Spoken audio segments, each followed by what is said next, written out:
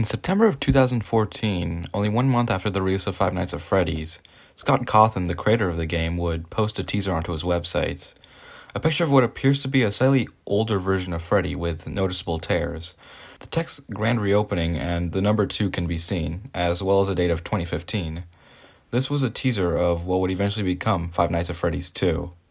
A couple days later, a new teaser would be released. Something borrowed, something new. We can see what appears to be an older Bonnie, notably with his face ripped off, and next to him, a newer Bonnie with brighter colors and a much more polished appearance. A third teaser would be posted once again. On the left, we see Foxy peeking through the curtains, and on the right, we see a new pink colored Fox character peeking on the other side. Something interesting is that Foxy in this picture doesn't appear to have a different design despite both Bonnie and Freddy having different designs in the last two teasers.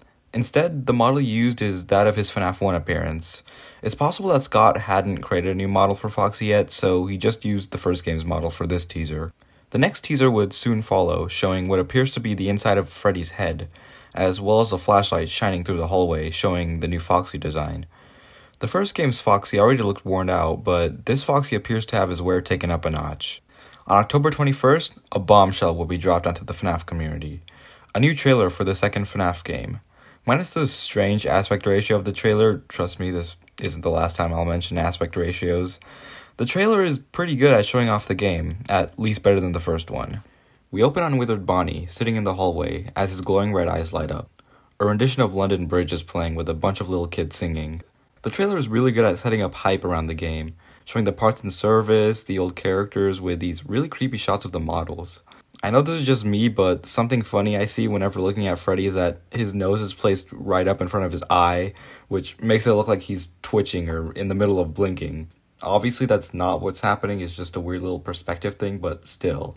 We then see this animation of the new Bonnie shown in the teaser, who somehow opens his eyes with only two frames. Finally, we get to see some gameplay, which is, for some reason, a different aspect ratio to the rest of the video. And then we get the final text showing Five Nights at Freddy's 2 before the trailer ends. I'm gonna be honest, this trailer is way better than the FNAF 1 trailer. It actually helps build up tension and hype around the game, showing all these creepy models, some gameplay, and even Freddy's twitching eye. Compare this to the first one, which does build up some tension, but the repetitive sound really breaks up the tension. After the trailer was released, a fifth and final teaser would be released. A black screen with a button and a warning symbol. Nothing really important on the surface, but upon brightening the image, this creepy animatronic is shown with what appears to be some kind of crying mask. It's probably nothing important. Imagine being a fan at this time, having to wait until 2015 to play this game, only for the game to release like three months after the first game. Yeah, FNAF 2 was released way earlier than it should have been. Although this may have been seen as a plus to the fans who were able to experience the game earlier, when you're taking a closer look at the game itself, you begin to realize that the game's actually quite rushed and unpolished, containing many flawed mechanics, some strange decisions and leaps in logic, and some downright unfair moments. This is a kind of obsessive review of FNAF 2.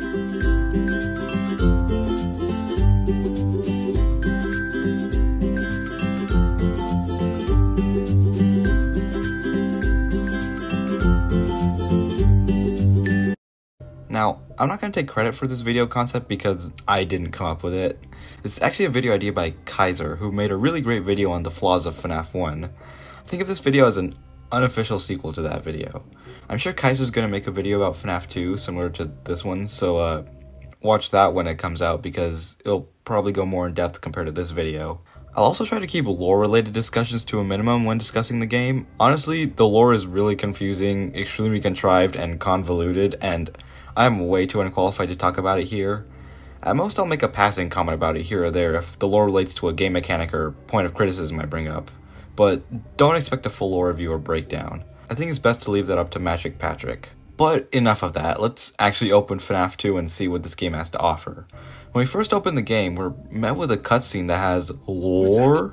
This appears to be from the perspective of Freddy in the FNAF 1 location. The player can pan over to see Chica on the left and Bonnie on the right. The screen begins glitching, and some text saying error is seen at the top left corner. I couldn't tell you for the life of me what these cutscenes mean, but I'm sure the theory crafters had a lot to chew on when they saw this for the first time.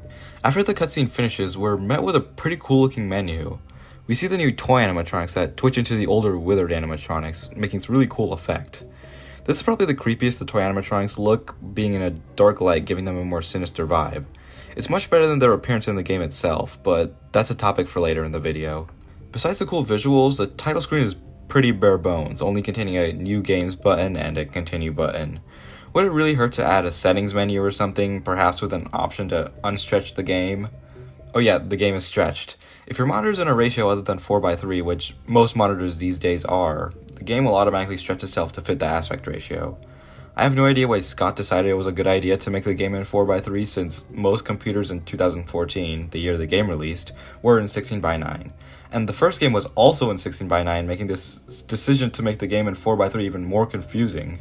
This makes the game look really cheap and ugly, so whenever I play the game, I have to go into my settings and change my screen resolution to one that's a 4x3 aspect ratio.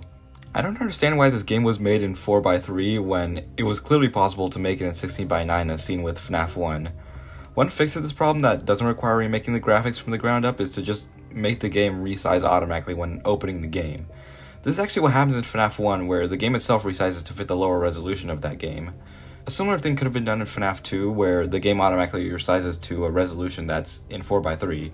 It's much easier than going into the settings, changing the screen size with this very annoying pop-up that appears every time you change the screen size, and then having to go back and change it once you're done playing.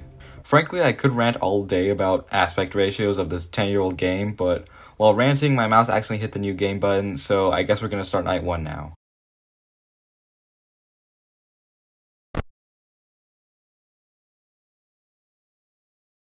When first starting the night, you're greeted to a pretty open office, which is a stark contrast to the more cramped office in the first game.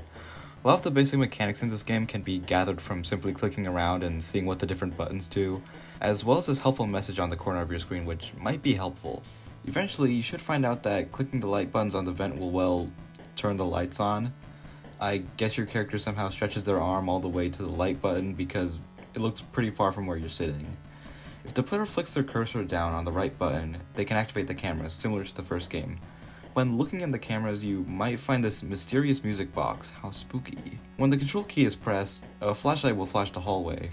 When in the cameras, the flashlight can flash whatever camera you're on. Next to the camera button is a button to put the Freddy mask on, which is a mechanic that'll definitely be used sparingly and not get used to ward off 90% of the animatronics in the game. And some players that are looking really closely may find out what happens when you click the Freddy nose on the poster. What doesn't make sense is why the player can't flash the light or go into the camera while the mask is on. I mean, yeah, the security guard could just be using his hands to hold the mask, but isn't the mask just the top part of the Freddy head, which can clearly be worn as a mask without needing to be held up? Maybe the security guard just gets scared whenever he puts the mask on and he can't do anything while it's on, or maybe the weight of the mask is crushing a certain part of his brain, causing him to temporarily lose basic functions like using a flashlight or camera. Or maybe, and, hear me out on this one, it's like that because the game would be too easy if it wasn't.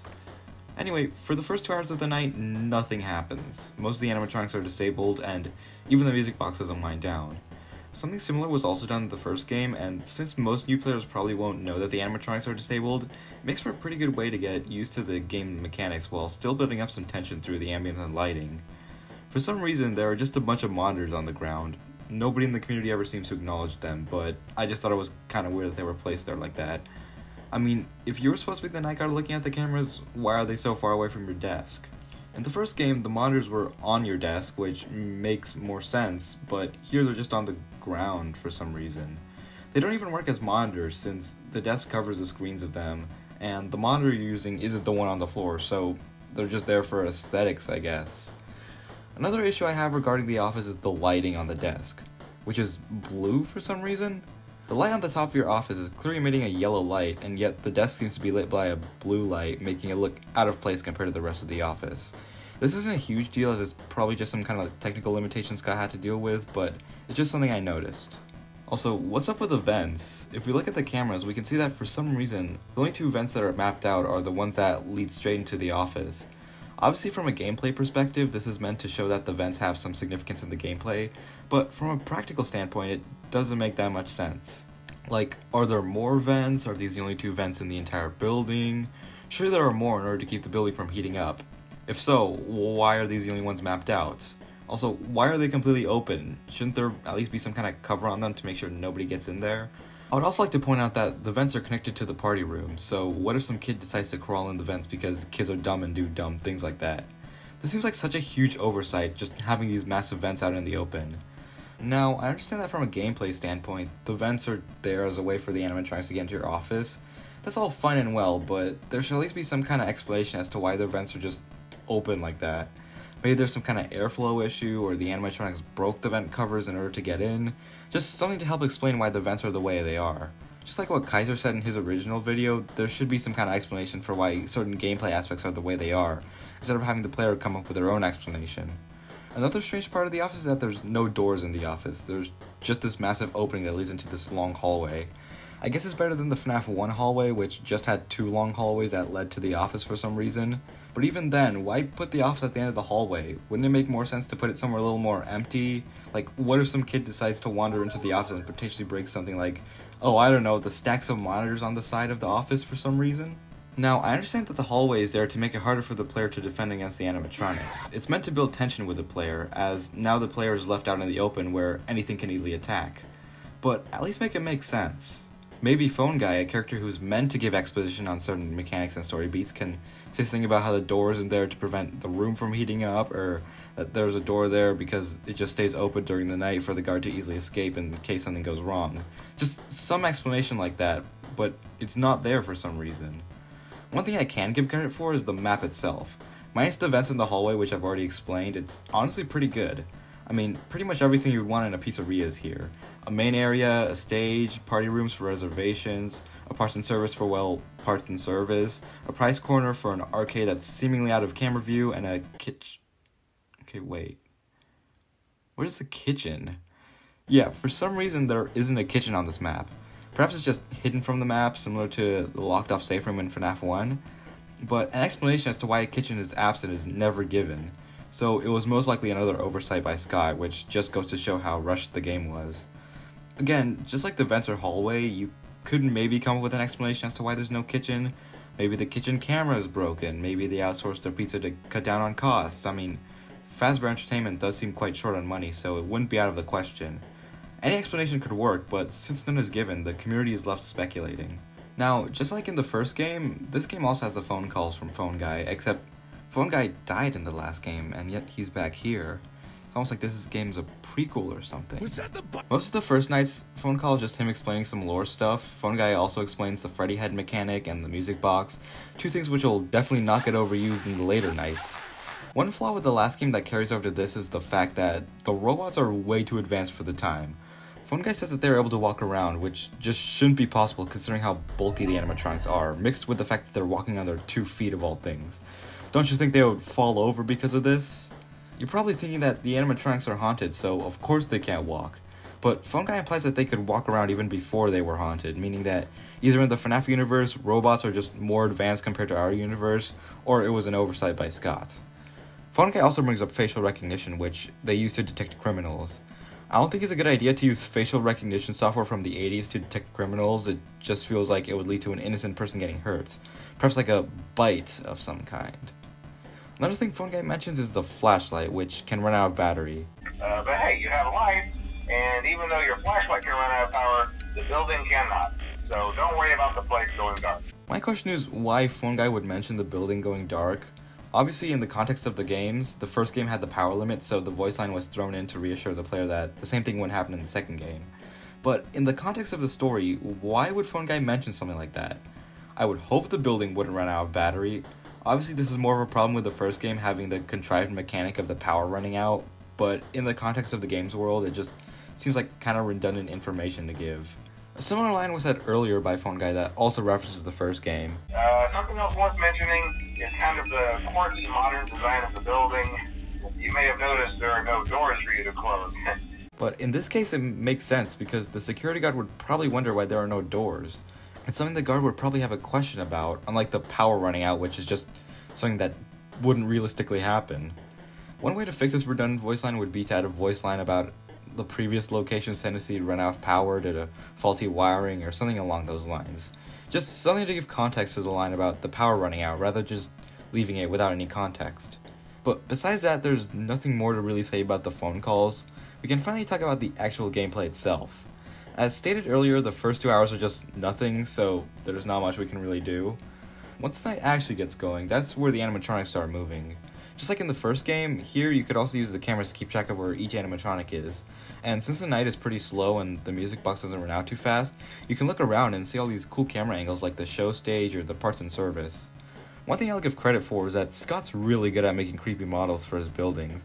Some of the 3D models definitely look kind of amateurish, but I think it helps in adding the creepiness as it gives things an uncanny valley vibe, even if unintentional. The only animatronics active this night are Toy Freddy, Toy Bonnie, and Toy Chica, and let's be real, these guys aren't scary.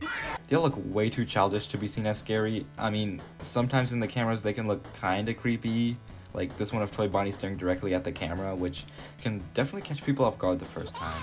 Toy Chica without her beak is also a bit creepy, as well as Toy Freddy's black eyes at the office, but for the most part, these guys aren't scary.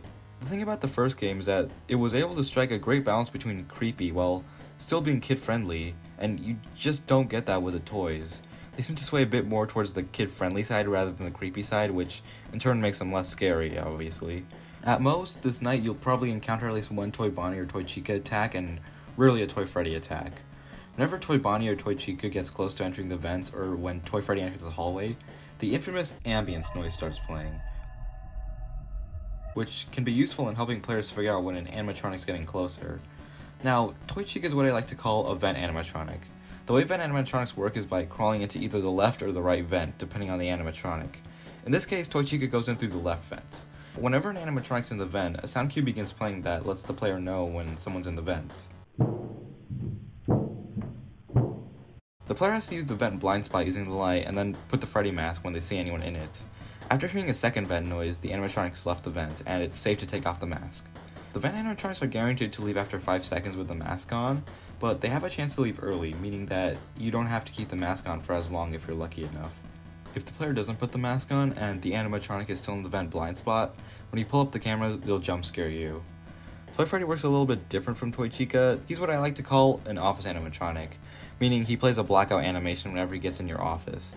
Note that all office animatronics don't show up in the vent lights, with one exception who we'll get to after Toy Freddy.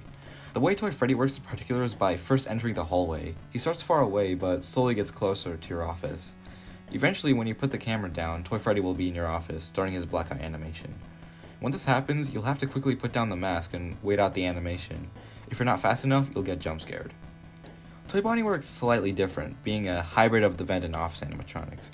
When you see him in the office, you put the mask on similar to the vent animatronics. After you put the mask on, he'll enter your office, accompanied by a blackout animation with him gliding across the screen. Once this animation is finished, you can safely take off the mask. If you don't put the mask on while Toy Bonnie's in the vents and you flip up the cameras, he'll jump scare you. The way Toy Bonnie works would be fine and all, but the problem lies in that he has a random chance of entering your office with each second of the mask being on, which can lead to issues. But we'll discuss that later. For now, he's not that much of a problem. The mask mechanic works fine as it's introduced pretty well here, but this got me wondering. So, the mask is meant to fool the animatronics into thinking you're an animatronic, right? This works fine with the office animatronics as you have to put the mask on quickly or else they won't get fooled and they'll kill you. But for some reason, the vent animatronics don't abide by the same logic. You can keep the mask on for as long as you want, as as long as you don't open the cameras, they won't get you. This doesn't really make sense. Wouldn't the vent animatronics also realize you're just the security guard if you don't put the mask on fast enough? I mean, when in the vents, they're literally staring directly at you. They can see that you aren't an animatronic, and yet putting on the mask still works on them? Should there be some sort of time limit for the vent animatronics where if you keep the mask off when they're in the vents for too long, they won't be fooled and then jump scare you? They already do that when you flip up the cameras, so do the vent animatronics not realize you're a security guard until you flip up the cameras? This is one of the many things in the game that don't make any sense.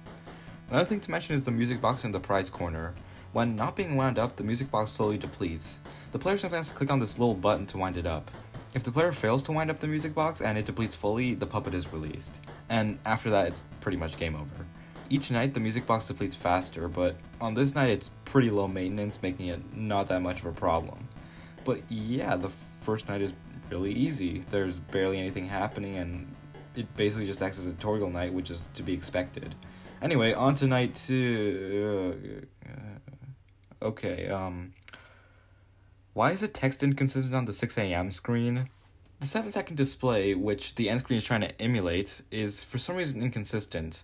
If we draw all 7 segments on this 5 and then overlay them over the 6, we can see that this area on the left doesn't quite match up, which shouldn't happen since the whole point of a 7 segment display is that all the segments stay the same no matter what number is being displayed. I know this is completely insignificant and doesn't matter at all, but it's something that's been annoying me ever since I noticed it, and I want you to suffer with me. Also, the distance between the segments on the A and the M are uneven, which is only made worse if you play the game stretched like most people do. Anyway, now on to night 2.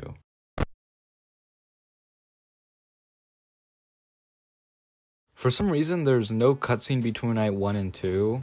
Just thought it was a bit odd considering the rest of the nights had cutscenes in between them. I'm not complaining though, since when replaying the games, the cutscenes were always the most boring part anyway. Night 2 is pretty similar to Night 1, only slightly harder. Similar to Night 1, in the first hour the animatronics are all disabled, but this time you need to wind the music box as it begins depleting right as the night begins. At this point in the game, the music box is still pretty low maintenance, going at the same speed as it did the first night, so keeping track of the animatronics and the cameras is still pretty manageable without letting the box run out. In this night, we get introduced to three new characters Foxy, Balloon Boy, and Mangle. When it comes to Foxy's design, I think it's pretty good for the most part. Sometimes he can look really creepy, especially when he's in the hallway or in the parts and service. But other times, like on the custom night menu, he just looks kind of goofy but most of the time he still gives off that creepy vibe, which was missing from the toys. Balloon Boy's design is also pretty creepy, with his fixed smile and his eyes that stare deep into your soul. His humanoid design helps him stand apart from the rest of the animatronics, and these human character traits make him look more uncanny as well. Mangle's design is pretty unnerving too, just being a mangled, pun intended, mess of parts. Some of his renders in the camera also look pretty unsettling, minus the bad compositing job, which I'll get to later and I really love this render of her with Foxy in the hallway. Now, when it comes to their mechanics, Balloon Boy and Mangle are just vent animatronics, so they work pretty similar to Toy Chica, just with some minor differences. Just like Toy Chica, they enter through either the left or right vent, but the difference being that each one has its own unique sound cue. For Balloon Boy, he enters through the left vent and he makes a laughing noise every time he moves. Hi. This is actually pretty helpful as it allows you to keep track of him if you understand his movement patterns. For some reason, he doesn't appear in any camera except the game area and the left vent. I guess Scott just forgot to add sprites for BB in different locations, so he just kind of looks like he just teleported into the vents. Also, for some reason, he doesn't trigger the ambience noise when he's near you. Maybe it's just because he can't directly kill you, but it's still strange nonetheless. Once BB enters the vent, you fend him off by putting the mask on, which I already explained earlier. The difference is that instead of jump scaring you, when you flip up the cameras without using the mask, he'll enter your office and disable your flashlight and vent lights, which is basically game over for reasons I'll discuss soon. There's no reason given as to how Balloon Boy is able to disable your flashlight. I mean, it's not like he stole it or anything, you can clearly see it's not in any of his hands.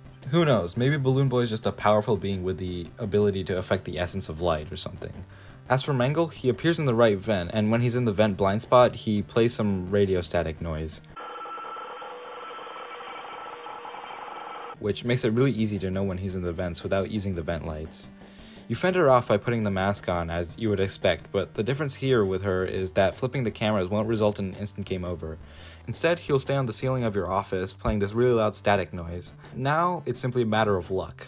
Every time you flip the cameras down, he has a chance of jump scaring you. So if you're lucky, she could just stay in your office for the entire night, although it's just safer to keep her out altogether. Something kind of dumb is how Mangle is able to get onto the ceiling in the first place. Like, is he Spider-Man where he could just climb onto walls? Does he have super glue on his hands in order to climb to the ceiling?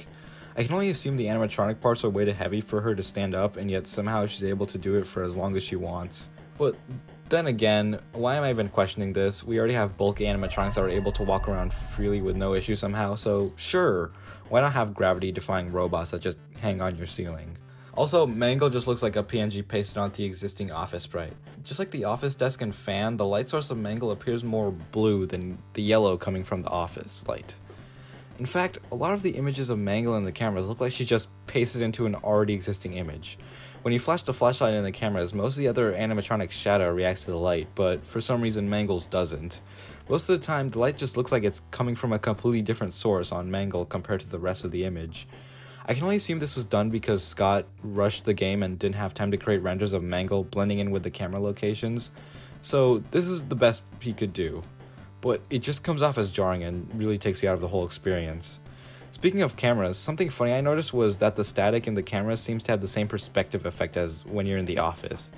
You see, in most of the games, there's this perspective effect that's meant to give the illusion of movement. If you were to turn off this effect, the office and camera angles would just look like sliding PNGs, so I guess this effect looks slightly better.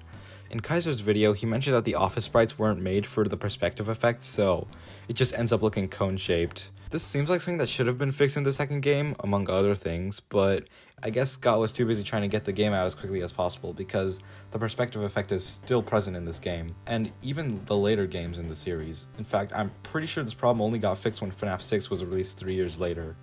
For some reason in the second game, these little static lines seem to be affected by the perspective effect. You can see that as they slide down the screen, they begin to warp into a cone shape as a result of this. The camera static wasn't affected by the perspective effect in the first game, so I don't know why it occurs here. This may very well just be an aesthetic choice to make the screen look more round, kind of like those old TVs, but you can clearly see that the camera monitor is flat, so this makes no sense. I think what happened is that the static was placed on the same layer as the camera's image, which also uses the perspective effect, so the static also got affected. But it's still very strange nonetheless. Huh, that's weird. The ambient sound seems to be playing, but I don't see anyone entering the vents. Oh, oh no. Okay, I think it's time we talk about Foxy. The way Foxy works is complicated to say the least, so I won't go too deep into his mechanics. When Foxy first gets activated, he has a countdown timer that increases every second. Every second in which the flashlight is in the hallway when he's not in it, the timer goes down 0.5 seconds. But once the timer reaches a certain number, which can happen quicker depending on if his AI level is higher, he shows up in the hallway. Once in the hallway, Foxy is given a new timer for when he'll jump scare the player. This kill timer increases every second, similar to the last one. Every time the player flashes the light in the hallway, the timer will reset back to zero. If a blackout occurs from an office animatronic, Foxy's kill timer is frozen until the blackout ends. If you put the mask on when no one's in the vent blind spots or in the office, Foxy's kill timer increases at double the speed, meaning you shouldn't put the mask on unless you see an animatronic in the vents blind spots or the office. If you don't flash for long enough, the timer will eventually run out and Foxy will be ready to jump scare you. How long you can go without flashing Foxy depends on his AI level. If his AI level is lower, you don't need to flash him that often, but if it's higher, you'll need to flash him a lot more frequently. Once Foxy's timer runs out, the next time you flash the light in the hallway or a 10 second interval passes, he'll jump scare you. If you flash him for a cumulative number of frames, which is 100 times the night number, he'll eventually leave the hallway and the cycle continues. The way I explained Foxy was kinda simplified, so if you want a more in-depth explanation, I'd suggest watching this video by the Bones5 YouTube channel on YouTube more specifically the section on how Foxy works. Foxy is also why it's a bad idea to let BB into your office, since he can disable your flashlight, which means Foxy's kill timer will eventually run out, and at that point it's game over for you. For some reason, when Foxy or any other animatronic moves into the hallway, the flashlight stops working for a couple of seconds, instead playing this buzzing noise. This is so that the player knows when an animatronic moves into the hallway, but my question is why this happens from the game's world perspective. I mean, does the flashlight just stop working coincidentally every time an animatronic moves in the hallway? Does the player for some reason flash away from the hallway when an animatronic moves? I have no idea. Even when the flashlight stops working, for some reason you can still see a bit of the light coming from the flashlight, meaning that I guess the flashlight is still flashing in the hallway, but for some reason the light isn't actually going into the hallway. It's such a strange thing to add, and most of the time it actually get quite annoying since the blank flashlight can stay for quite a bit of time. What if I want to check on Foxy if he's still in the hallway? Oh, I can't because someone's moving in the hallway? Oh well. Also, some animatronics can appear in the hallway and not kill you, which can be really confusing. Obviously, Foxy can kill you from the hallway, but other animatronics like Toy Chica or Mangle can appear in the hallway, but don't directly kill you from the hallway. When watching Let's Players, a lot of them put the mask on when these guys appeared in the hallway, even though they can't kill you directly from the hallway. Stuff like this just adds more confusion to the game and it can actually be harmful to the player. You see, if you put the mask on when there are no animatronics in the vents or office, Foxy's kill timer increases faster, and a confused player might think to put the mask on when Toy Chica or Mangle are in the hallway since they don't know any better. So putting on the mask when seeing them in the hallway just gives you a greater chance of dying to Foxy, meaning that not only is this confusing to the player as they think the animatronic's gonna kill them even when they won't, but it also means that Foxy's more likely to kill you. The best solution to this is to just not have them appear in the hallway. Sure, we get to miss out on some cool renders like this one of Mangle in the hallway, or if you want to keep the renders, just have phone guys say something about animatronics not always attacking you from the hallway. Just something to clear up confusion. As for Night 2's gameplay, it's basically the same as the first night, just with more animatronics as mentioned earlier. The gameplay loop is pretty similar to Night 1, but since the animatronics have a higher AI level, they appear more frequently in the vent and office. Of course, you have to flash Foxy now in order to prevent him from killing you, but his AI is so low on this night that he's barely an issue. As most nights go, this night also has a phone call. Phone Guy mentions the older animatronics from the parts and service, as well as mentioning how to ward off Foxy with the flashlight. I don't know why he didn't mention Foxy on the first night. Obviously, Foxy's disabled on that night, so from a gameplay standpoint, it would make more sense to explain Foxy on the night that he actually appears in. But it seems pretty unwise to leave out such an important detail from the Night 1 phone call. What if Foxy did appear on Night 1? Then the security guard is screwed since they don't know how to fend him off. Phone Guy also mentions the puppet and reiterates to wind the music box, which got me wondering why do we even have to wind the music box in the first place? Whose idea was it to have a music box that needs constant maintenance? Shouldn't the employees just lock the box once the day is over in order to prevent Puppet from escaping, or just not have this winding mechanic in the first place. It just seems like another contrived mechanic that has no logical explanation given to as to why it exists in the first place. This is a problem that carries over from the first game. The first game has a lot of unexplained mechanics, which Kaizir explained in his video, and this wasn't something that was fixed in the second game. Flashlights can go out at random times, vent animatronics can see you without your mask on and not instantly kill you, and the music box has no reason to exist other than to just use the cameras. It's all for the sake of keeping the game together. If there's no music box, you would have no reason to check the cameras, and if you have no reason to check the cameras, animatronics can never kill you. An office animatronic can't even get into your office since the blackout animation is only triggered when you pull the cameras down. Most of the game can only work if you never use your cameras, so the music box is the only thing keeping you from never dying to a vent or office animatronic. The only animatronic that could kill you if you never pulled up the cameras, and if the music box never existed, is Foxy, who's probably the only character with a decent mechanic since he actually requires you to use the flashlight and not just do nothing for most of the night. Not to mention that Foxy's AI is pretty intricate, making him the only fleshed out character whose mechanic isn't just a copy and paste of either the vent or office animatronics. Oh, look at that! Night 2 is complete. I guess it's time to move on to night 3. We're now on to night 3. Uh, oh wait, there's another cutscene. Might, might as well go over that.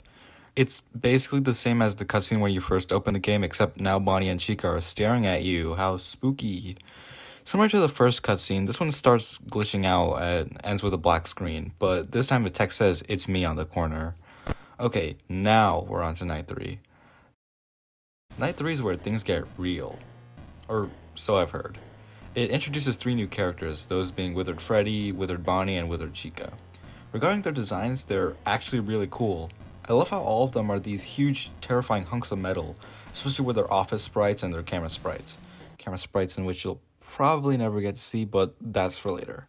Freddy's huge and menacing stare, Bonnie's ripped off arm, face, and red eyes, and Chica's unhinged and scarecrow like appearance make the Withered animatronics truly terrifying while still realistically working as animatronics kid would probably enjoy, at least if they were unwithered.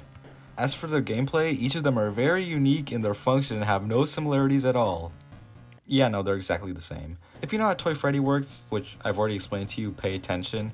These guys basically work the exact same. You simply put the mask on as fast as possible when they enter your office, and if you don't, you're dead. This is a complaint many in the community have voiced, where despite the large cast of characters, they don't really stand out in any other way gameplay wise, instead being just copy and paste of one another. The main difference between them is their design, obviously, and the locations they come out of. Freddy comes from the hallway, similar to Toy Freddy, while Bonnie and Chica come from the vents.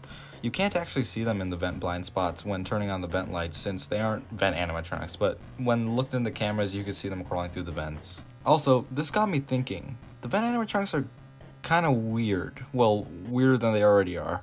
We can only assume that the vents are flimsy because, well, that's how vents are, so How are these massive animatronics fitting inside these vents and crawling around without them breaking them? It makes no sense.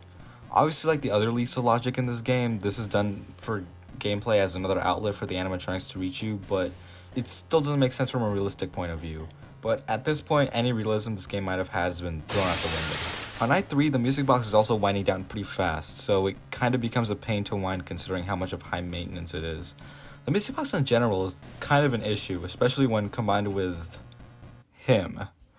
Well, I think I've been stalling enough. I think now we should talk about Toy Bonnie. Oh my god, Toy Bonnie, he's gonna ruin. Oh no, I'm already dead.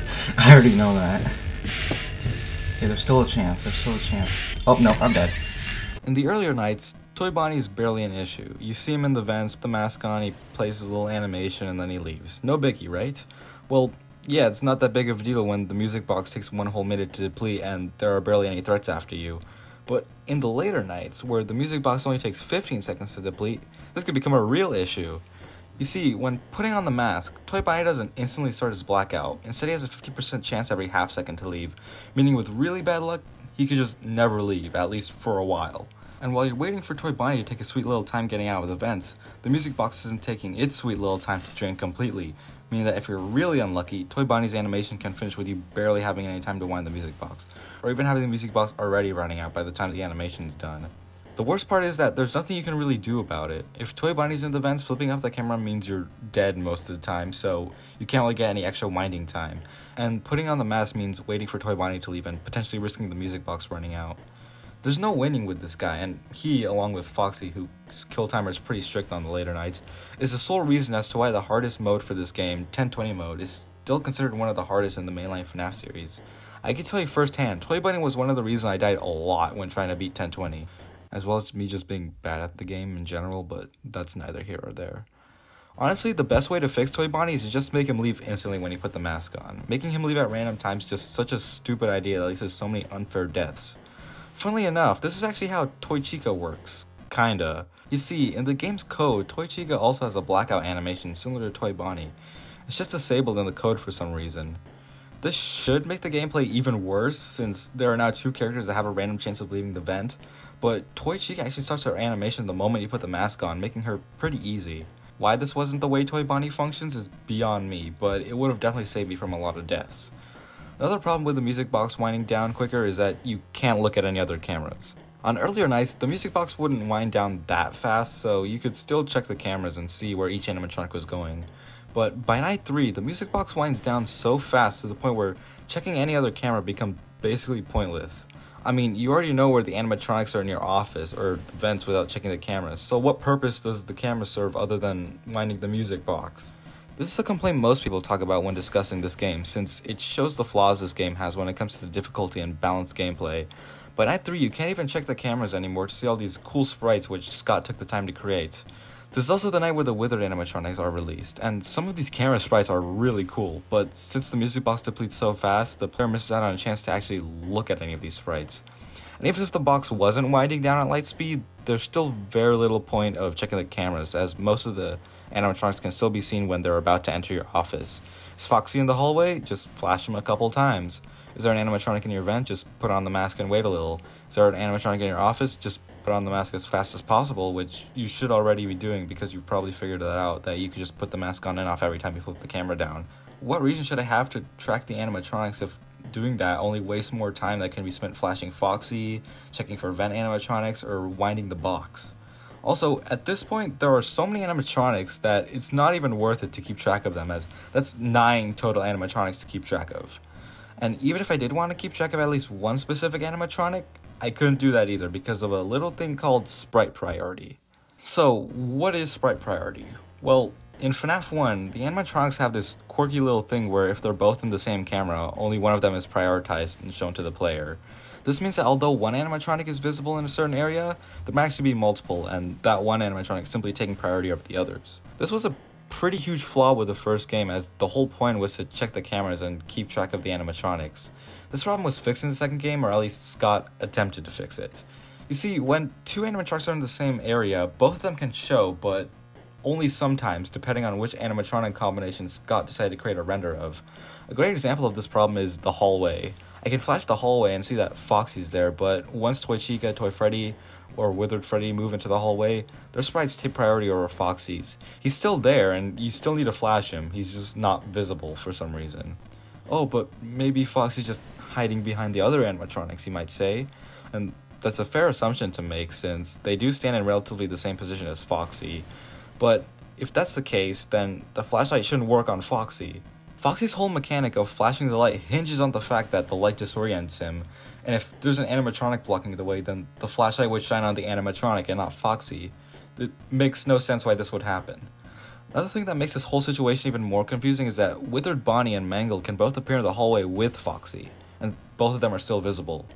The most likely reason for this is that, unlike the other animatronics mentioned above, Bonnie and Mangle appear more off to the side, meaning that Foxy can still be visible even when both of them are in the hallway.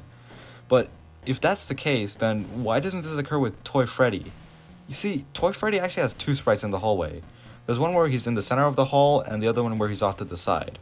Obviously, when he's in the center, you can't see Foxy since they're both in the same position, but why doesn't Foxy just show up when Toy Freddy's off to the side? Was it really that hard to just paste Foxy's model onto the already existing Toy Freddy render? Why doesn't Toy Freddy get a sprite of both him and Foxy while Bonnie and Mangle do? Did Scott just want Toy Freddy to be lonely forever? Scott, do you hate Toy Freddy? Be honest. I'm not gonna go over every single example of sprite priority issues, but another big one is the main hall. The animatronics that are visible in the main hall are Mangle, Toy Chica, Withered Bonnie, Withered Freddy, and the puppet on rare occasions. Despite all five of these guys appearing in the same spot, it's only ever possible to see Mangle and Toy Chica at the same time. And yes, Mangle's lighting doesn't match at all with the rest of the room's lighting. So, uh, it also turns out that Mangle can appear with uh, Withered Bonnie and Withered Freddy because, I mean, like, her image is just a PNG pasted onto the screen, so of course, right? But yeah, I'm just just wanted to point that out that Mangle can appear with all the animatronics in the hallway, but Toy Chica, Withered Freddy, and Withered Bonnie they can't appear at the same time. It's they're mutually exclusive. And you want to know what the craziest thing about the main hall is? Every animatronic has to go through it to get into your office, and yet only five of them can be seen. Why is it they have to keep track of these animatronics, and yet only five of them are visible and can actually be seen in there? Do the animatronics just drink an invisibility potion when in this room? That seems to be the only explanation. The fact that Scott attempted to fix this issue shows that he was aware that it was in the first game. But if he really wanted to fix it, why not just make so that all of the animatronics can be seen? I would assume it's because of the amount of variation in sprites for a single room. If that's the case, he should have just taken more time to finish the game. In the literal first teaser of the game, Scott gave a release date of 2015. He had time. It's not like he was rushing to get the game out in three months. Another thing, why does the light change position whenever a new animatronic appears in a certain location? Take Party Room 2 for example. Why does the light coming from the camera change whenever Cheek is in the room? I would assume the camera light is in a fixed position and doesn't move along with the camera, but it does when Cheek is in the room for some reason? Is it a motion detecting camera that shines whenever it detects motion? It can't be that since only some camera lights have this strange quality while others don't. Also, why does your flashlight run out of batteries when you use the camera lights? I mean, it's pretty obvious by using your brain that the camera lights and the flashlights are two separate things. Unless somehow you shine the light and it goes through the camera? So, does that mean that if an animatronic looks through the camera, they would see the security guard? Is there like a screen next to the camera that shows the security guard? Well, if that was the case, shining your flashlight through that screen wouldn't light up the entire room like that. And if there was a screen to show the security guard, what would be the purpose? So people in different rooms can see the security guard watching them. That sounds very nice and not at all uncomfortable. I guess Scott just wanted another reason for the flashlight to run out of battery. And I mean, it's not like you're going to use the flashlight to look at the cameras in the later nights since you're too busy weighing the music box. At least unless you're using the minus 7 strat for 1020, which does utilize the other rooms. So, for context, a mechanic I never explained was that most of the animatronics can actually be stalled in the cameras. If you flash a light while an animatronic is in a camera, it stalls them for a couple of seconds. Doing this strategy can stall 7 of the 10 animatronics, hence the name minus 7. And one of these animatronics is Toy Bonnie, which basically means that getting rid of him removes RNG from the game. This strategy would be pretty easy since it's not that hard to stall all the animatronics on their own, but for some stupid reason, Balloon Boy isn't affected by this. Why not? I have no idea. It works perfectly fine for the other animatronics, so why not him? Well, I think I might have a theory for why this might be. I think Balloon Boy was added much later in development compared to the rest of the animatronics. I mean, think about it. Balloon Boy doesn't have any sprites, he just randomly teleports into the vent somehow. He also doesn't play the ambient sound when you're near him, probably because Scott didn't add the code that plays the sound when he gets close to you. And he doesn't get affected by the flashlight, which could also be because Scott didn't add that either.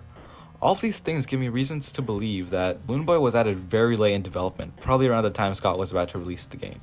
Which is another reason why Scott should have just taken his time with the game.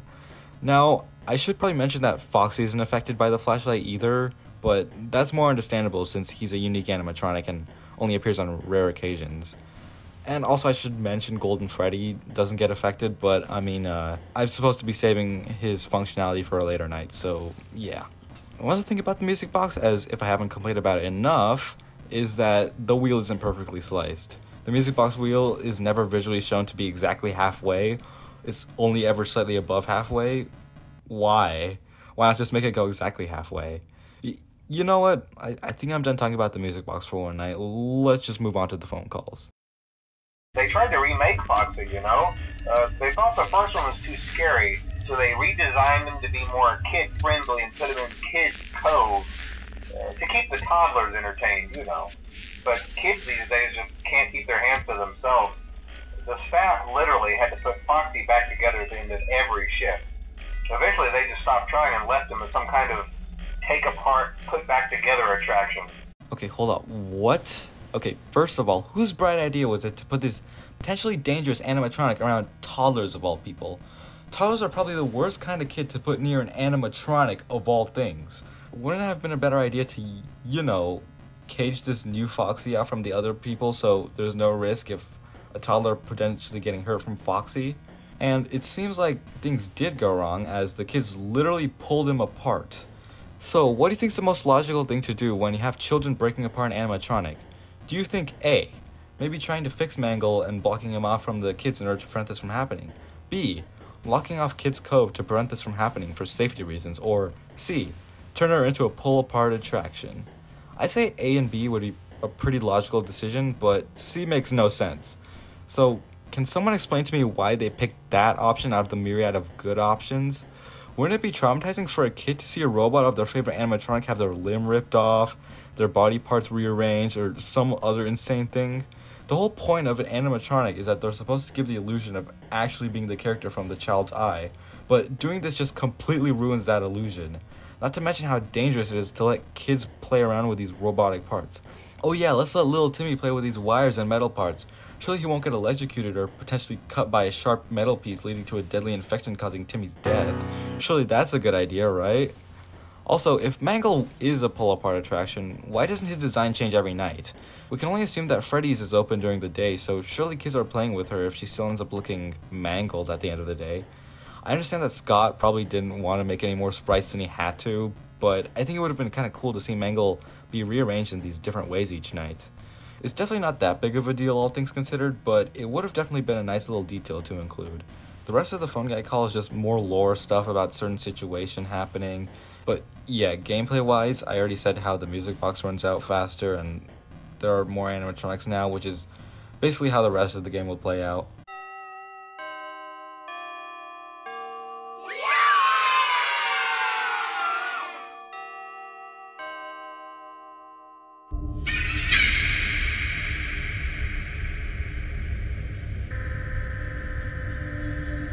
Third cutscene in the game opens the same as usual, with you from the perspective of Freddy panning over to your left and right.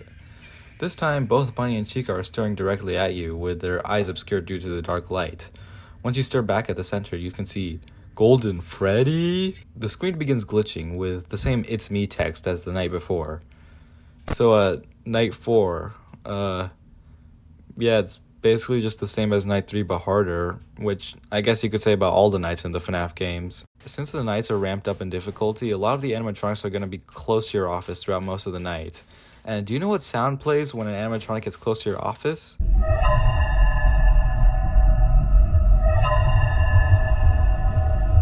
That's right, the infamous ambience noise. I haven't really brought this noise up all too much since it's pretty bearable to listen to in the earlier nights, but by night 4 it plays constantly. Something great about the first game's atmosphere is the lack of noise. All you really hear are the fan and the occasional creepy sound. But these creepy sounds weren't louder in your face, they were just playing every once in a while as a way to build up more tension.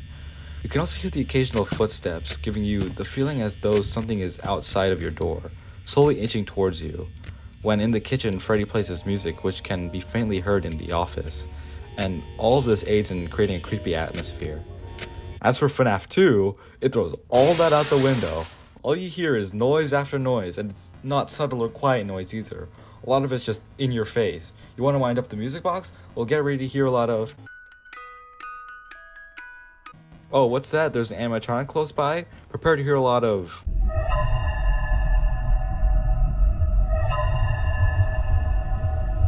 Playing constantly throughout the night and going insane over how much you hear it. Not to mention the constant vent noise playing.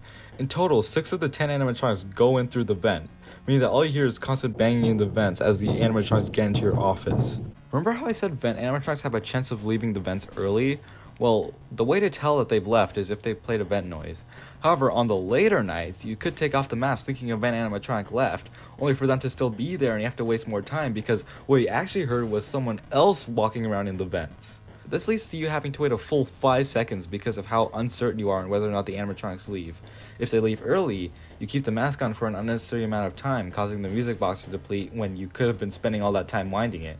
And on top of that, you also cause Fox's kill timer to increase at a greater rate, since that's what happens when you put the mask on when there's no vent or office animatronics. Oh yeah, the blackouts. Blackouts happen constantly. In I3, a lot of the withered animatronics look really cool and genuinely creepy as they hover over your office with only your Freddy mask being able to fend them off. But on the later nights, these guys are just constantly in your office, causing them to lose all scariness they might have once had. Whenever you flip down the cameras, you're more likely to get a blackout than not have one. And all you do during this blackout is just wait 5 seconds doing nothing. This is the gameplay loop most average players go through. Basically, it's just you flipping up the camera, winding the music box, flip the camera down, put the mask on while doing so. If there's no animatronic, just take it off, flash the hallway, check both events, put the mask on if you see anyone, rinse and repeat.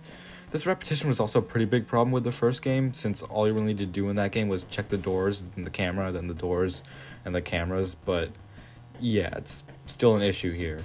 The worst part is that the second game's in a unique spot where it has all these characters that can each have their own unique abilities, but instead, Scott just decides to make a majority of the cast be warded off using the mask. The most uniqueness you'll ever get out of these animatronics is where they come out from and their design. Everything else is basically the same, and combine that with the repetitive ambience that plays on and on makes for a very routine and not at all scary game.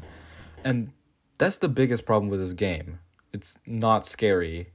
At most, it's a little creepy on the earlier nights since you don't know what's coming, but by the later nights, you basically know the routine of the game and can predict pretty much any scenario that comes towards you.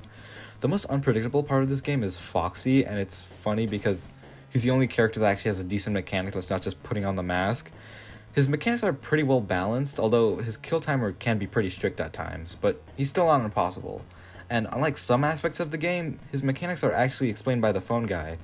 Oh yeah, that's right, the phone guy exists. Uh, just as a side note though, uh, try to avoid eye contact with any of the animatronics tonight if you can. Uh, someone may have tampered with their facial recognition systems, we're not sure. But the characters have been acting very unusual, almost aggressive towards the staff. They interact with the kids just fine, but when they encounter an adult, they just stare. Phone guy saying this implies that the animatronics weren't acting weird before, he said to try avoiding contact with them tonight. Does this mean that on the last few nights the animatronics were acting normal? Oh yeah, pizzeria animatronics uh, walking around and crawling through vents. Totally normal stuff animatronics do, but now they're acting weird. It's possible that phone guy was just talking in the past tense, saying that they were acting weird, but only now have the staff began noticing. But he words it like this is something that only started occurring on night four, so what about the other three nights? Were they just acting quirky because? A quick fix to this would just be if he said something like, If you've been noticing anything strange over the past week, we're currently investigating that in the beginning of the paragraph in order to just make things less confusing. Honestly, I have nothing more to really say about Night 4. Let's just move on to Night 5 and get this game done with.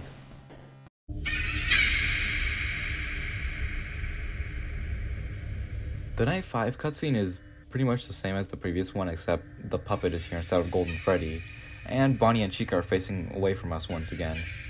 Alright, night 5. It's again just a harder version of night 4. We don't really need to go over the gameplay.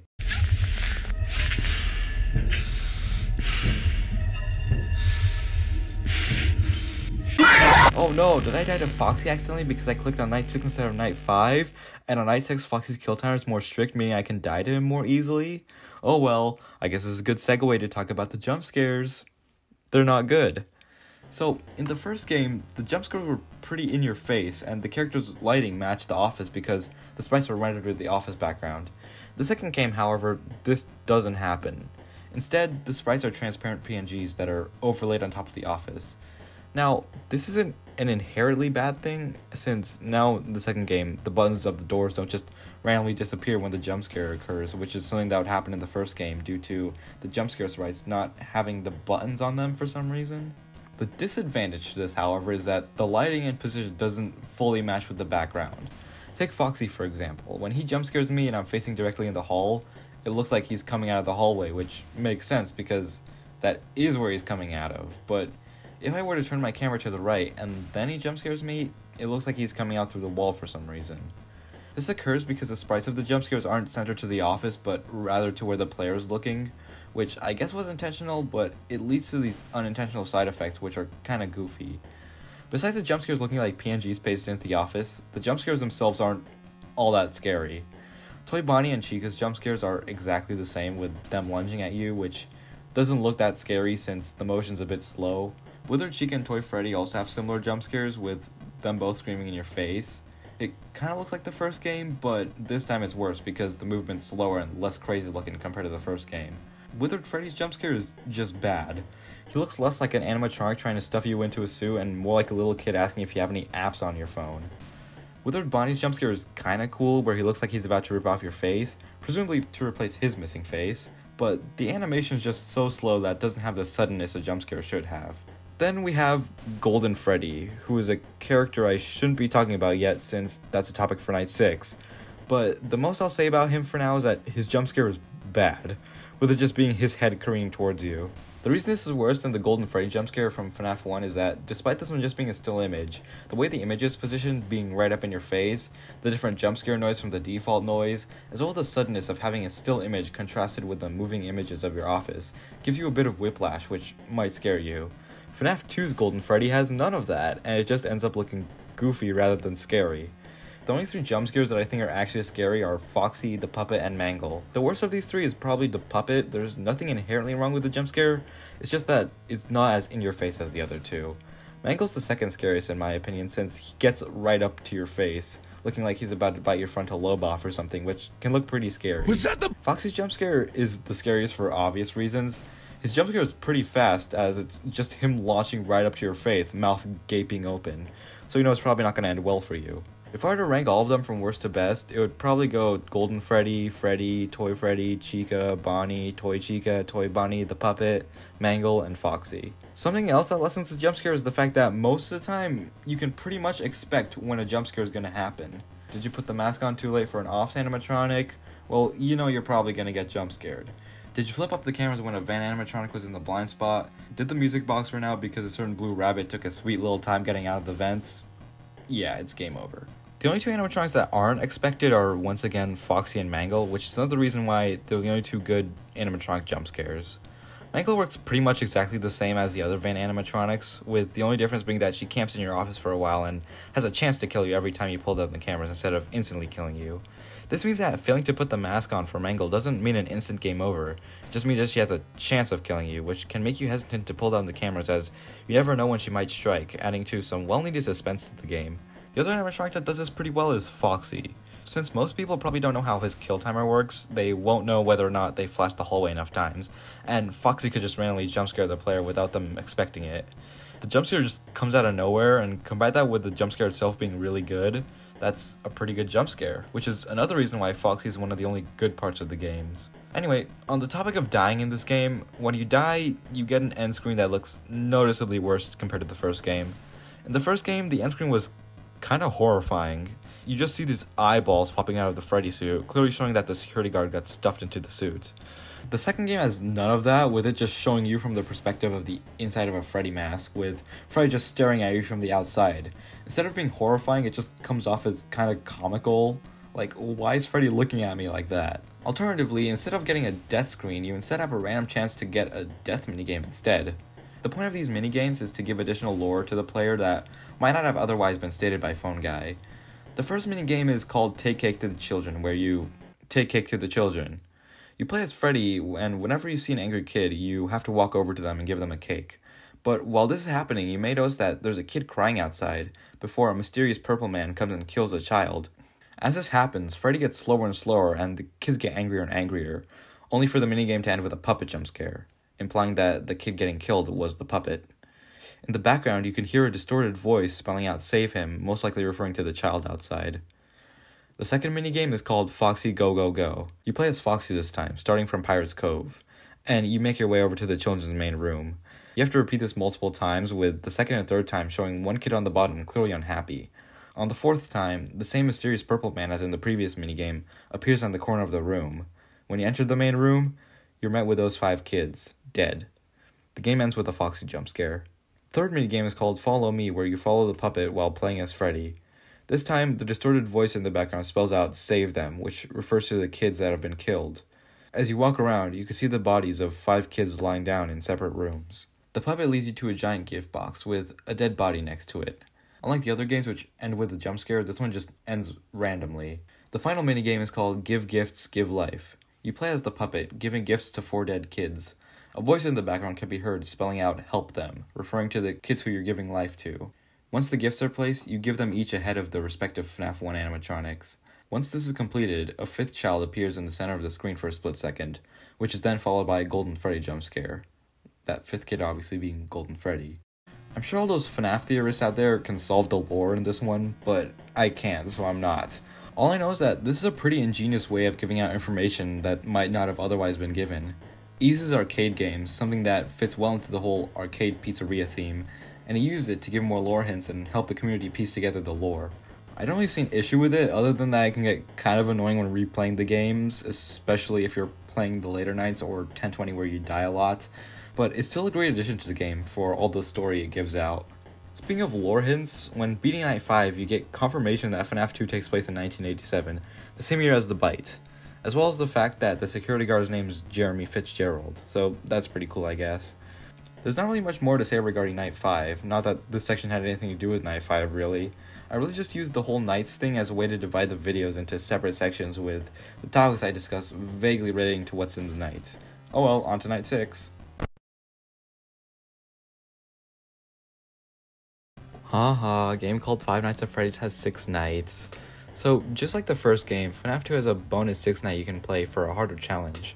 The only notable thing about this night is that it's the only night where Golden Freddy actually has a chance to spawn that isn't 1 in a 100 or 1 in a 1000. So, on nights 2 and 3, Golden Freddy only has a 1 in a 1000 chance of spawning, meaning that although it's possible, it's extremely rare for him to spawn on any of these nights. This chance is increased on nights 4 to 5 as he now has a 1 in a 100 chance, which is still pretty rare, but not as rare as on nights 2 to 3. Night 6 is the only night where he really has a good chance of spawning, having a 1 in 10 chance, so I guess we'll discuss him here. When active, Golden Freddy has a chance to appear in your office when you pull the cameras down. If this happens, you have to put the mask on to ward him off. How original.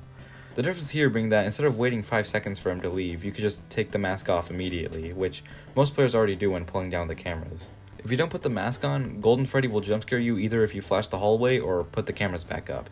That's not all Golden Freddy does, as when there are no animatronics in the hallway, his head has a chance to appear in there for some reason. Yeah, it looks kinda goofy if I'm being honest. If you flash the hallway for a cumulative 1.6 seconds, he'll jump scare you, but if you don't flash him for a while, or another animatronics appears in the hallway, he'll go away. Golden Freddy's mechanics aren't really explained here, but honestly, they don't really need to be. At this point, the whole putting the mask on after flipping the cameras down becomes second nature, and the player should hopefully be able to realize that flashing the hallway for too long will cause Golden Freddy to kill you. Not to mention that it would be a little weird for Phone Guy to explain this, since Golden Freddy is kind of a mysterious ghostly figure. It's a little vague on whether or not he's a ghost or an actual animatronic. I mean, he appears in your office, and the mask flashlight clearly affects him in some way, but when putting the mask on, he sort of just fades away like a ghost would. Also, his head appears in the hallway, which wouldn't be possible if he was just a regular animatronic. Honestly, I have no idea. FNAF lore has never been straightforward. Also, sometimes Golden Freddy has a rare chance of appearing in your office in the hallway at the same time, which just adds more confusion. Now, Golden Freddy in the first game was more of an Easter egg, only having a 1 in 32,000 chance of appearing in your office. Compare this to the second game, where he actually has an AI value similar to the other animatronics, and can appear quite frequently in your office or hallway. This kind of makes his Easter egg status a little less special since he's treated more like a part of the main cast rather than just as a secret character that appears very rarely. Although, I guess this game makes up for it by having a total of 5 other Easter egg characters. Yes, you heard me, 5 other characters. The first two are pretty notable, being Shadow Freddy and Shadow Bonnie.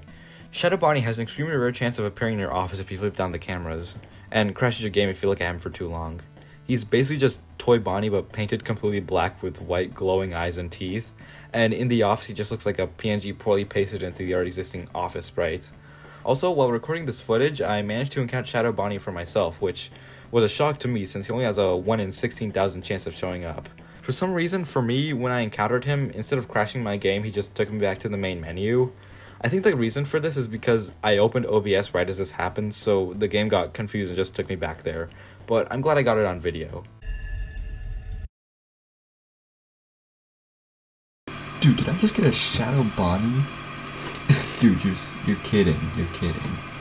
Okay, okay. I'm glad I recorded that. I'm glad I recorded that. The next character is Shadow Freddy, who has a chance of appearing in the parts and service room, given that all the other withered animatronics have already left the room.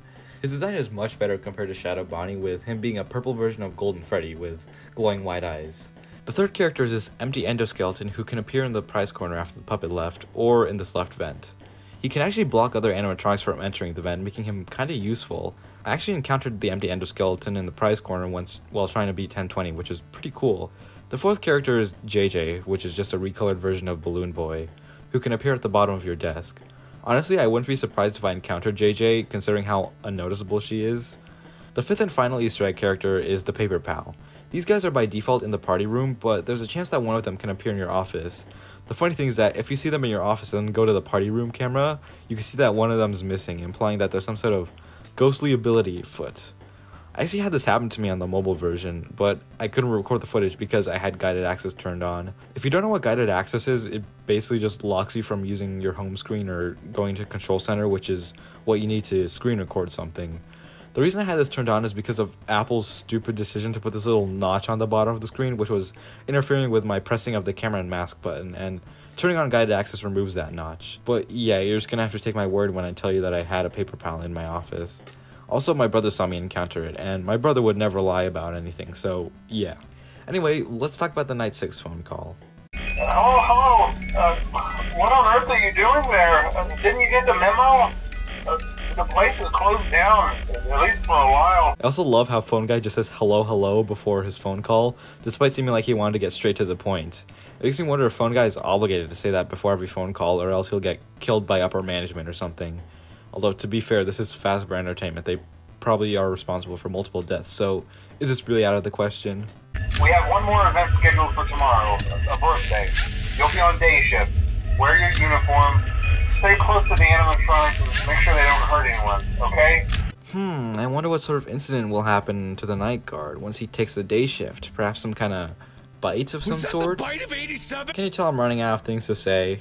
Alright, well, when beating Night 6, you're shown this end screen saying that the toy animatronics are being scrapped and that they're bringing the old animatronics back in the future, obviously referring to FNAF 1. Oh well, at least Night 6 is finished, meaning I don't have to play any more of this. There's a custom night, of course there is. So, just like FNAF 1, FNAF 2 has a custom night in it where you can customize the character's AI levels to your heart's content. This is a pretty neat reward for being Night 6, as Night 6 is pretty difficult, but not as difficult as the other challenges in this custom night, as we'll soon see. Clicking on the custom night button brings you to this menu with 10 animatronics on the roster, which include Withered Freddy, Withered Bonnie, Withered Chica, Withered Foxy, Balloon Boy, Toy Freddy, Toy Bonnie, Toy Chica, Mangle, and Golden Freddy. Now, I assume that you know how the FNAF AI works, but the basic gist is that the AI level determines the chance out of 20 in which an animatronic can move every 5 seconds. The only characters that don't follow this are Foxy, Golden Freddy, and the puppet, as explained earlier. Also, the puppet isn't on this menu for some reason. Yeah, despite this being called a custom night, the puppet, one of the biggest threats you have to deal with, is missing from this menu. I feel like the reason for this might have been because Scott wanted an even 10 animatronics and There's no really good way to make this menu with 11 animatronics without it feeling off. Now, something I haven't mentioned yet is that the puppet's AI is actually completely separate from the music box speed. The music box is its own little thing, while the puppet's AI is dedicated to how fast he'll go after the music box runs out. It would be a little weird to have two separate AI levels for both the music box and the puppet itself, so my solution is to just make the puppet's AI in this menu dedicated to the music box's speed rather than how fast the puppet gets to your office after the box runs out.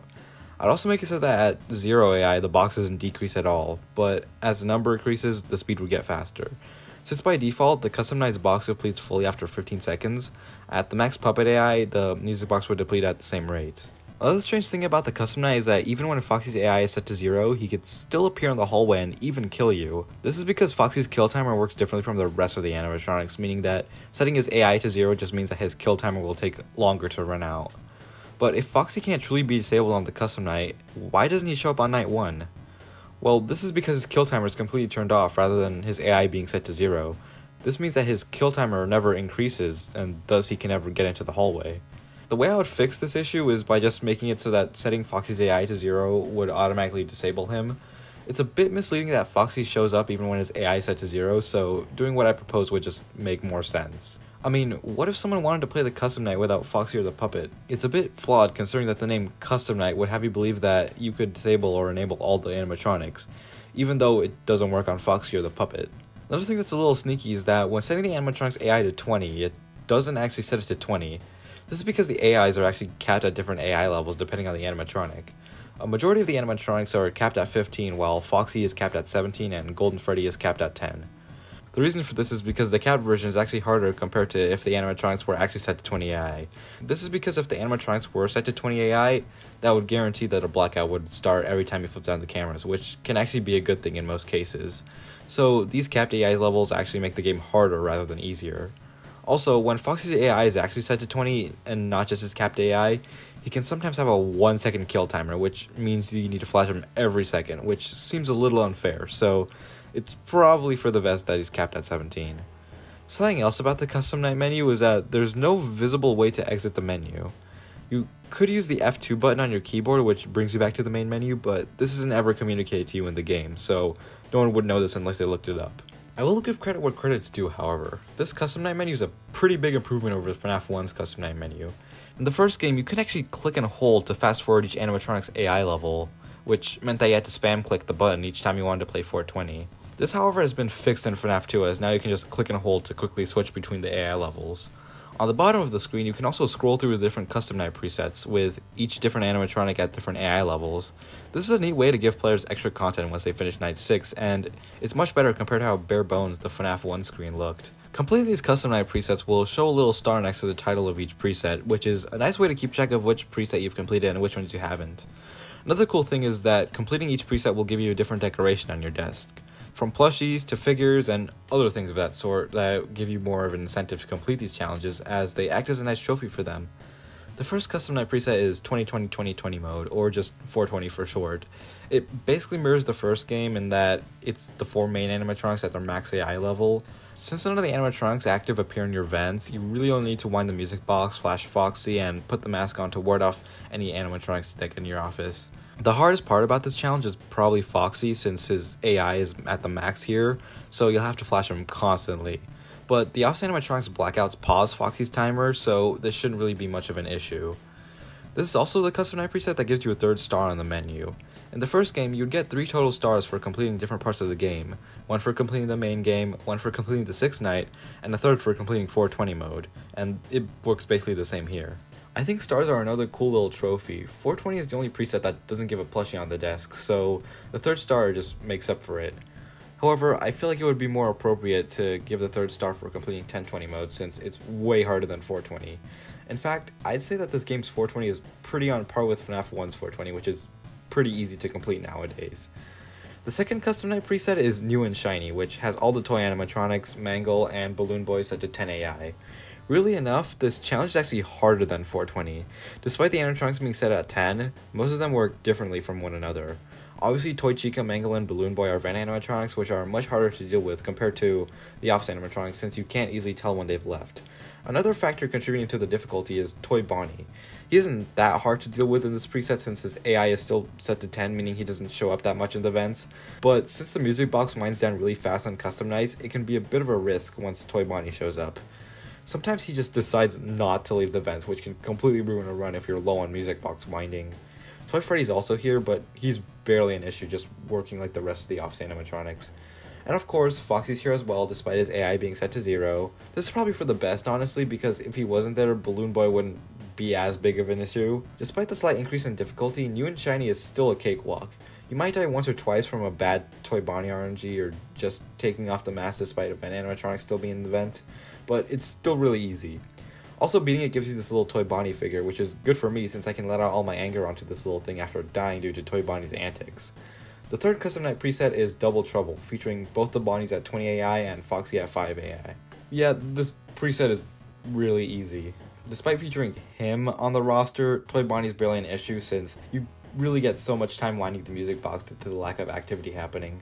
Foxy's frankly not that big of an issue, his AI is only at 5, meaning that if you flash him every once in a while, you should be golden.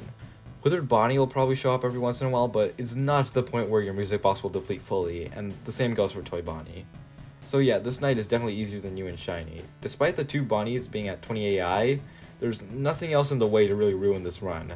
Also, beating it rewards you with a Bonnie plushie, so that's cool. The next challenge is Night of Misfits, with BB, Mangle, and Golden Freddy at 20 AI. And Foxy's there too, of course. Again, this challenge is really easy. You don't even need to check the right vent since Mangle makes a static noise whenever he's in the vents. Golden Freddy's also pretty easy to deal with. If he's in your office, you just put the mask on and off, which you should already be doing as a habit every time you pull the cameras down. He also just flashes light sparingly to avoid Golden Freddy's jump scare in the hall. Remember that he can only get you if you flashed him for a long time. And if you see Foxy in the hallway, just flash him every once in a while when he's in the hallway. Since his AI is so low, you don't even need to worry about spamming the flashlight to prevent his jump scare. BB and Mangle may be a little problematic. I mean, both are vent animatronics, which are harder than off animatronics, but they can still be pretty easily warded off while still keeping the music box intact. Once completed, you get rewarded with this Balloon Boy bobblehead, which does look kinda cute compared to the actual Balloon Boy who I want to punt. Foxy Foxy is the next preset, and actually provides a bit of a challenge. It's easier than 420 obviously, only having Foxy and Mangle, but Foxy at 20 AI combined with Mangle who's a vent animatronics makes for a bit of a stressful night. Unlike the off animatronics, vent animatronics don't actually freeze Foxy's AI counter, and combine this with Foxy's stricter time means you'll have to flash Foxy a lot more often, especially when Mangle shows up in the vent. This isn't too hard, but having to deal with Foxy, Mangle, and the music box makes this night 10 times more stressful. Foxy's the only animatronic that still genuinely scares me when playing FNAF 2. When his AI is set something like 1 or 2, he's no big deal, but once his AI is around 15 and above, that's when things start to get real since his timer is so strict, making him the only character that keeps me on edge in later nights. Anyway, once you complete this preset, you're given a Foxy plush, which seems pretty expected to be honest. The next preset is Ladies Night, featuring Withered Chica, Toy Chica, and Mangle all at 20, as well as Foxy too. All you really need to do is check the left vent in case Toy Chica shows up and put the mask on when Withered Chica enters your vent. Since Mangle makes the radio noise, there's no point in checking the right vent since you'll already hear when he's in there. This is again a really easy challenge. The biggest problem you're gonna probably deal with is the music box, since now there's two vent animatronics to deal with, plus an ops animatronic. But it's still very easy to keep the box wound up. This is a pretty easy challenge and it rewards you with a Chica plushie on your desk. Not much more else to really say. The next preset is Freddy's Circus, which is around the same difficulty as New and Shiny in my opinion. It features the two Freddys at 20 AI, and Foxy, Balloon Boy, and Golden Freddy at 10 AI. This is again really easy with you only needed to check the left vent for BB and putting on the mask for the three Freddys. Foxy's AI is a bit higher here, but flashing the light frequently makes him not that big of an issue. Again, it's a pretty easy challenge that rewards you with a Freddy plush for completing it. Now it's time for the big three.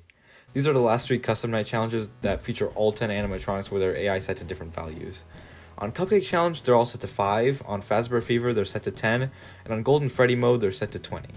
The Cupcake Challenge is pretty easy. The animatronic AIs are pretty low, and the hardest part is probably keeping up the music box, which is pretty tricky since there are a lot of animatronics getting to you, but it's still nothing too unbeatable.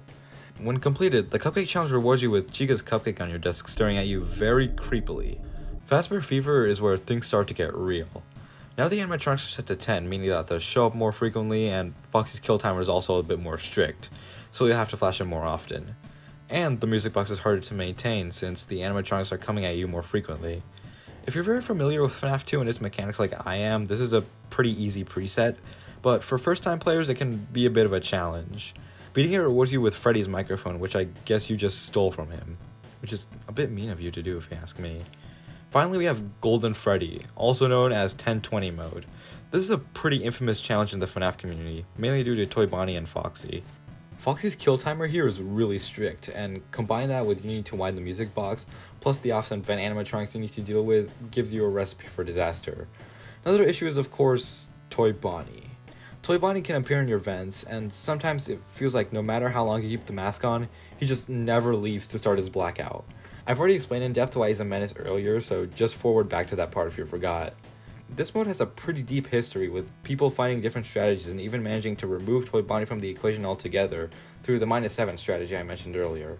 I'll link a video to the strategy in the description as well as any other footage or videos I might have mentioned. Let me tell you firsthand, this challenge was not easy. If I didn't put the mask in time for the off animatronic, dead. If we didn't flash Foxy for a second long enough, dead. If Toy Bonnie was in my vent, dead. Safe to say, this night was really hard. And the strategy I used to aid me was the timer strategy by Shooter25, which basically involves you using a timer to time when to flip the cameras, flash Foxy, and put the mask on or off. It helped quite a bit, but since Toy Bonnie still existed, it took me way longer than it should have. When beating 1020, you're rewarded with a golden Freddy plush on your desk, and now whenever someone sees that plush on your desk when playing FNAF 2, they'll know you wasted your life trying to beat the Scary Bear game. Or that you used a cheat code to skip the night which exists for some reason, or that you edited the save file which shows that you had 1020 complete even if you didn't. I think it's safe to say that 1020 is probably one of the most iconic, hardest nights in any FNAF game, due to it being the first of its kind that provides a great challenge that's still really difficult to play to this day. It's been able to birth a new community of people still trying to find out more information about the game and create new strategies around it. It's only a matter of time before the FNAF community finds more secrets hiding within the code of this game. But yeah, I personally love the fact that this game has custom night presets. Despite a lot of them being really easy, it doesn't make them any less fun to play, and I still enjoy playing them and trying to beat them. Also, after finishing a custom night, there's a screen that says you're fired, as well as the name Fritz Smith instead of Jeremy Fitzgerald, who we played as on the earlier nights. I like to imagine that Fritz wasn't actually hired by Fazbear Entertainment, but rather he was just some random guy that walked into the pizzeria and somehow managed to fend off all these guys with their max AI level. But hey, the custom nights on this game are actually pretty enjoyable, and with that out of the way, I've pretty much covered every aspect I wanted to talk about. There's not really that much else I need to. Wait, is that FNAF on mobile? Okay, well, uh, I guess I should talk about that too. FNAF 2, just like FNAF 1, was ported onto mobile and console. Now, I don't have the console version, nor do I want to spend money on the console version, so I might as well just talk about the mobile version since I already have that. The first thing that you might notice is that the mobile version has different menu music. The menu music on the PC version was taken from a stock music library similar to the first game. So, to avoid copyright issues, Scott just got his go to FNAF music composer Leon Riskin to compose a new music theme. It does have a very similar sound to the PC version's menu theme, but I think the PC version is a little more creepy sounding, which is strange because the PC version wasn't even meant to be scary, being made for what appears to be an adventure game of some sorts, while the mobile version was meant to be scary. Another change is that there's now a shop and options menu. Kaizir already went over these in his FNAF mobile video, and these options aren't any different in the second game, just including subtitles, visual options, while the shop has cheats. The most notable thing I want to bring up is the display mode, which allows you to change the game from either 4x3 or full screen. The reason I wanted to bring this up is because the full screen option stretches your screen, similar to the PC version. The thing is, the stretched version looks pretty terrible on most modern phones. The game already looks bad when stretched to 16 by 9, so on a modern phone, which most likely has a screen wider than 16 by 9, it looks much worse. Seriously, who in their right minds would play like this? At least they gave you an option to play in 4x3 ratio as God intended. I've now just realized that this is the second time I'm ranting about aspect ratios of a scary bear game. What am I doing with my life? Anyway, the gameplay isn't that different at all. The main thing you might notice is this button on the screen to flash your flashlight, which can be slightly annoying, but it's nothing too unbearable. But something else noticeable is that the poster on the wall is different from the one on the PC version. This is because Toy Bonnie's guitar had some copyright issues, with a guitar company copyrighting the design. It's honestly such a stupid and insignificant thing for a guitar company to get riled up over. Just why? Alongside the poster, Toy Bonnie's model in the party room also had to be changed. He used to stand there holding the guitar, but now he just stands there awkwardly. Couldn't they just replace the old guitar with a new one? He looks so awkward here. The newspaper screen when first starting the game is also different since the original had Bonnie's original guitar. The image just looks like it was pasted onto the already existing image and it looks pretty bad here. Also, the screen for beating Night 5 and the custom night was changed for the same reason of Bonnie's guitar. The PC version used more muted colors, making the check stand out more, which is absent on the mobile version, which makes the end screen look way too busy. The strange thing is, the Night 6 screen wasn't changed since the check on that screen covers Bonnie's guitar, meaning that the newspaper screen on Night 1 is inconsistent with the one on Night 6. Those are the only notable changes I can think of. Some some of the intervals for the animatronics were also changed, but that really only affects you if you're using the timer strategy for 1020, so it's not that big of a deal. Unless you want to beat 1020 on mobile, then it kind of is. Another thing is that the custom night menu actually got a couple of improvements. Now you can automatically change the animatronics AI to 0 or 20 if you want. And there's now a back button. But yeah, FNAF 2 on mobile. It's just like the game on PC, but on mobile instead. I'm sure the console version comes with most of the changes the mobile version has, just with console controls. Also, there was an older version of the mobile FNAF 2, similar to FNAF 1, and the rest of the games in the series. It was pretty bad, and I have no idea what happened to cause it to look this bad, but hey, it's funny to look at, so I guess that's a plus. Despite all the complaints I had about FNAF 2, I love this game, and it's not just because of the community and the influence this game had on it, although that definitely contributes to that, but it's the game itself and its attempts to be better than FNAF 1. Even if the game was rushed, the fact that this game in the state it is in currently was only made in three months is still pretty impressive. Scott had to make three models of each animatronics and locations, and he had to program several different functionalities for how each aspect of the game would work, even if a lot of them are flawed.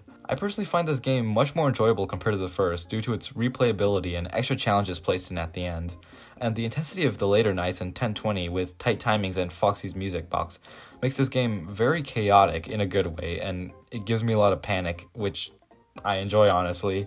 Seriously, Foxy still keeps me on edge when playing this game since I never know when he might get me, and the other animatronics help with that as it gives me less time to flash the light, making him more worried as to whether or not he'll get me.